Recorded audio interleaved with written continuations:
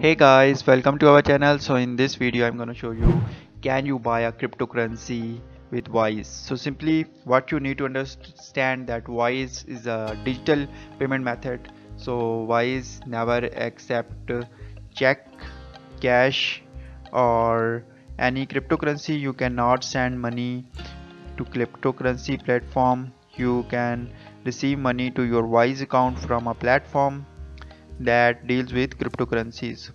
So you need to understand there is no direct method to deal with cryptocurrency. So you need to use the wise exchange. So here you can see click on open a platform. So here search for currency like crypto or any bitcoin. So you cannot find it here. So you understand that you cannot directly deal with cryptocurrency on wise. So first of all you have to convert or deal with cryptocurrency in your local currency like australian dollar us dollar or any currency and after that you will be able to deal it with wise. So there is no direct method to deal with cryptocurrency